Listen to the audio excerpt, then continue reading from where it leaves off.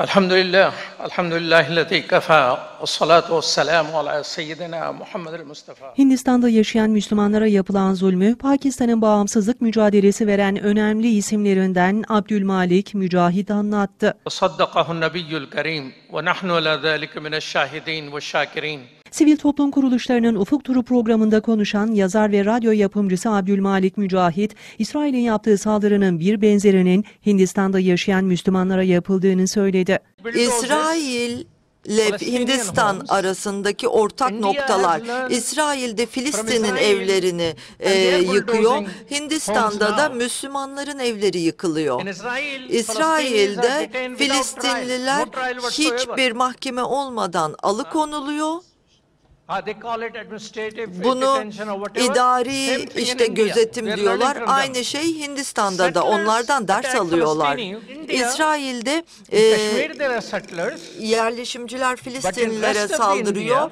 Kaşmir'de e, yerleşimciler var ama e, Hindistan'ın geri kalanında RSS diye bir şey var. Bunlar silahlı bir grup. Gandhi'yi öldürdüler ve Hindistan'da da aynı İsrail'in Filistinlilere yaptığı gibi sürekli bir saldırı var ve Müslümanlar çok kötü yerlerde yaşamaya zorlanıyor. Müslümanların ibadetlerine engel olunduğuna dikkat çeken Abdülmalik Mücahit, cuma namazlarına dahi izin verilmediğini ve kılınan mekanlarında yıkıldığını ifade etti. 150 yerde e, namaz kılabiliyordu.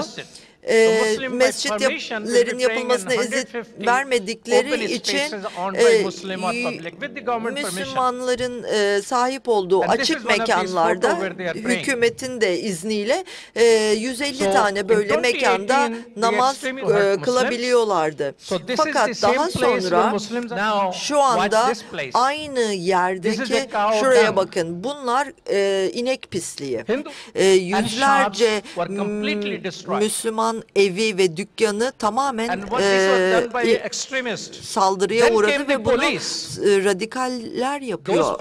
Aşırıcılar yapıyor. Sonra polis geliyor. E, bu e, barışçıl protestoları yapan kişilerin evlerini de bu sefer polis imha ediyor. Müslümanların büyük bir mücadele sergilediğini söyleyen Mücahit, bu direnişleri desteklemeliyiz, dedi. Adaleti ve İslam'ı talep ediyoruz. Onurlu bir mücadele bu. Siz de bunun birer parçasısınız. Hepimiz birer parçasıyız ve bu desteklediğimiz için gurur duymalıyız.